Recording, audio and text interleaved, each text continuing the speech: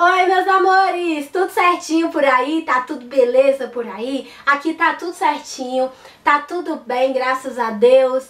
E, gente, hoje eu tô feliz porque eu trouxe receitinha simples pra vocês, receitinha eficiente, aquelas receitinhas maravilhosas bem simples e que faz efeito, que é potente, que é potência pura. Então, essa é a receitinha de hoje. Porque nós vamos usar um único ingrediente, sabe? Um único ingrediente que vai fazer a diferença aí no teu cabelo, que vai deixar teu cabelo aí, vai selar as cutículas do cabelo, gente. Olha que maravilha. Olha só que coisa boa. Eu nem vou falar muito, tá? Eu já vou direto pro passo a passo, porque essa receita ela dispensa comentários, ela dispensa falar demais.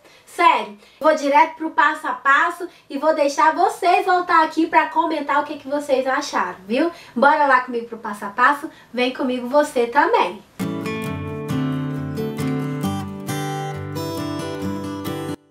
Misture vinagre no seu condicionador. É isso mesmo. Você já conhece o benefício do vinagre de maçã, não é verdade? Então hoje eu vou ensinar para vocês uma receitinha usando o vinagre de maçã. Se você não conhece, vai ficar tudo aqui no box de descrição, todos os benefícios do vinagre de maçã no cabelo.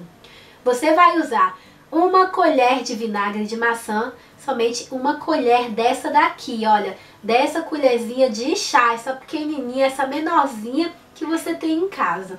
E quantidade que você usa de costume para lavar o seu cabelo de condicionador. Eu uso o Yamasterol, mas você pode usar qualquer condicionador que você tiver em casa.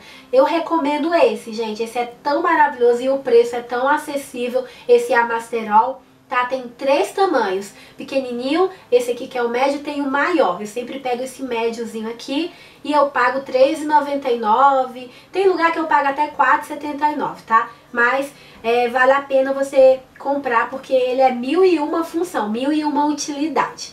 Voltando à receita, Misture aí com o seu condicionador e com os cabelos lavados só com o shampoo você vai aplicar e passar do comprimento às pontas, entendeu? Comprimento, ponta, ponta, comprimento, comprimento às pontas.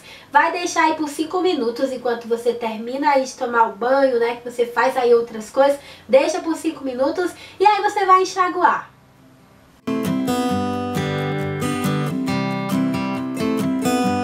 Gente, não tem mais desculpa. Não tem mais essa de dizer eu não tenho tempo de cuidar do cabelo.